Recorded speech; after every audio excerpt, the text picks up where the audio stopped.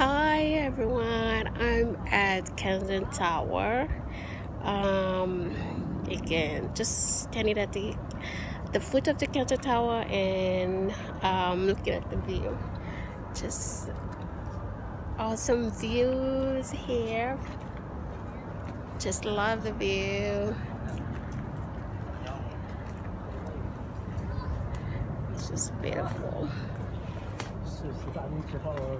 Yep. So there you have it.